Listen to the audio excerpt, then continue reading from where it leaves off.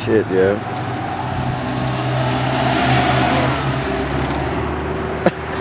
Who will help this poor man?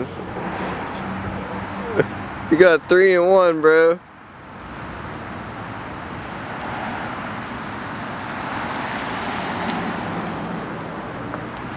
Did none of them stop?